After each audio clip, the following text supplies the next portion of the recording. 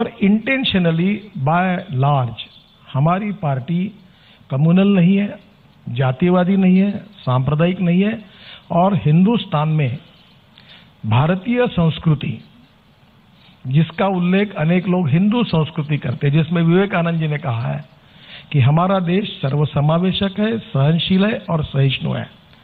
और जिस देश में मेजोरिटी हमारी भारतीय संस्कृति की है विचारधारा की है, इतिहास की और विरासत विचार करने लोगों की है, तब तक सभी धर्म के लोग सुरक्षित है।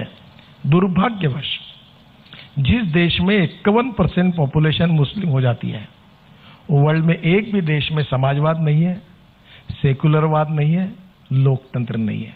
आप जितनी चर्चा, हिम्मत के साथ हिंदू धर्म और हिंदू जातियों पर करते हो, क्या उतनी चर्चा आप बाकी धर्मों के बारे में कर सकते हो? करते हो कभी? आज मुझे बताओ कि बलात्कार करने के बाद उसको पत्थर से ठोक ठोक के मारा गया।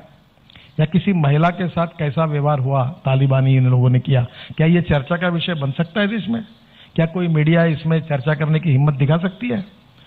मैं आपको दोष नहीं देता। हमारे देश में अपने ही लोगों को अपने को ही कोसने में बड़ी मज़ा आती है। और ये हमारे देश में ये बड़ा ये हो कि जो जो अपने धर्म को, अपनी संस्कृति को, अपने इतिहास को, अपनी विरासत को कोसना, ये बड़ा मॉडर्न थिंकिंग का एक लक्षण बना हुआ है। कुछ बातें गलत है तो गलत है तो उसको सुधारेंगे। मैं बिल्कुल ये नहीं कहता कि पुराना ओल्ड इज़ गोल्ड ये नहीं है। जो पुरानी गलत बातें हैं, जो इरिविलेंट है, उसको बदलना है। मॉडर्नाइजेशन को मॉडर्नाइजेशन और वेस्टर्नाइजेशन में फ़र्क है। मॉडर्नाइजेशन को स्वीकारना है ई गवर्नेंस को स्वीकारना है टेक्नोलॉजी को स्वीकारना है रिसर्च डेवलपमेंट साइंस को स्वीकारना है और भारतीय जीवन मूल्यों को भी स्वीकारना है।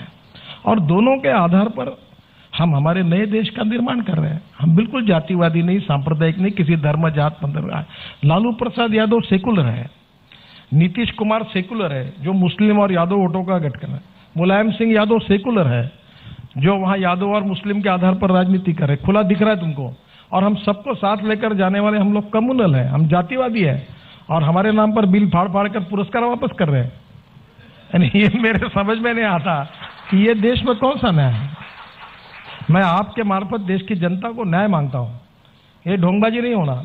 लड़ना है तो डायरेक्ट लड़ो। विरोध करना है तो डायरेक्ट करो। ये पीछे से क्यों करते हो? ये मुंबई में बॉम्ब ब्लास्ट हुआ। कितने फ़िल्म इंडस्ट्री वालों ने कितना पुरस्कार वापस किया? इतने निरपराध लोगों की हत्या भी तब क्यों नहीं किया?